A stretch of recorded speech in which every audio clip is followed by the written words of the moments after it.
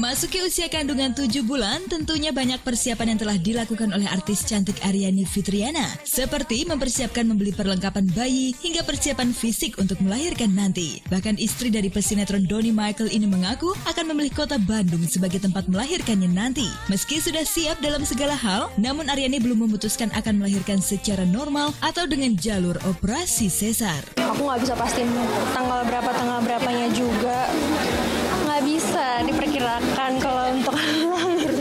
Takut salah ngomong ya. Yang pasti sebulan April. Untuk lahirannya aja sih.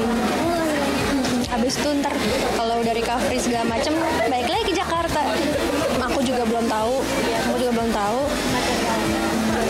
Kita lihat nanti aja deh. Karena kan kalau misalnya ntar aku bilang aku mau normal. Totonya pas hari H sesar. Aku pengen sesar? Totonya gimana? Aku nggak tahu. Totonya udah ngedan ngedan duluan sebelumnya kan aku nggak tahu Sebagai calon ibu, Aryani memang merasa bahwa dirinya sangat penasaran dan tidak sabar menanti kelahiran anak pertamanya tersebut. Bahkan di saat menunggu waktu melahirkan yang tinggal beberapa bulan ini, artis berusia 28 tahun ini juga rajin melakukan olahraga renang sebagai sarana untuk melancarkan proses melahirkan nanti. aduh nggak bisa diungkapkan dengan kata-kata aku penasaran banget nggak sabar banget terus pengen buru-buru ketemu sama si dede bayi sih bonding antara aku dan dia tuh udah dari dari aku tahu aku hamil.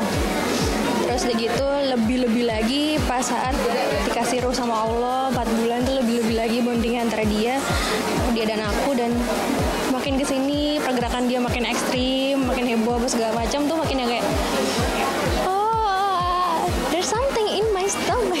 Ya oke. Aku lebih suka sih sebenarnya berenang. Mm-mm, karena emang aku dari dulu suka renang jadi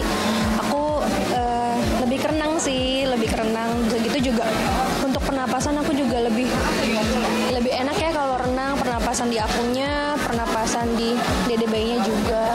Aku lebih suka renang